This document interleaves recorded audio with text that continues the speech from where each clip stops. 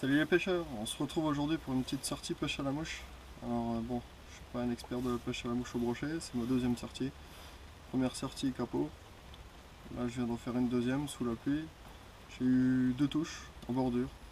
Le, poisson a attaqué, deux petits brochets, dirais 40-50 cm. Mais bon ça fait toujours plaisir, c'est les premiers poissons que je vois attaquer mon, ma mouche.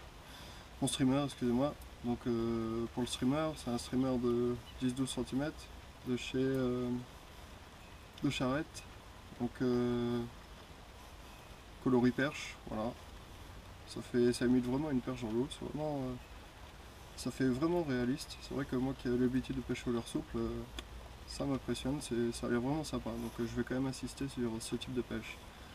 Donc mon montage, j'ai mis un bas de ligne en 60 centièmes, fluorocarbone, suivi d'un de ligne en 40 centièmes sur 1 mètre, 1 mètre 10. Ensuite ma queue de rat.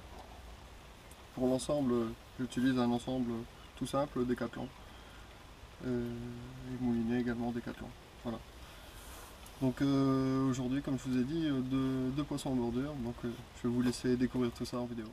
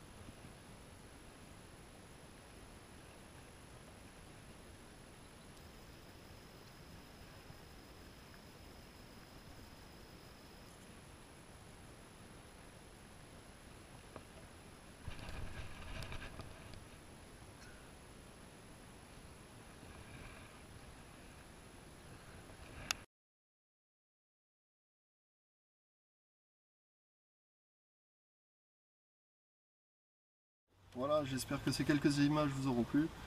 Et je vous invite à venir le 4 et 5 juin aux estivales de Cattenom. Les carnassiers de Lorraine y tiennent un stand. On y fait des démonstrations de pêche à la mouche pour le brochet. Donc ça sera vraiment le moment d'apprendre un peu plus avec des experts qui seront sur place. D'ailleurs, euh, moi je vais en apprendre un peu plus sur cette technique euh, à cette occasion. Voilà, à la prochaine. Ciao ciao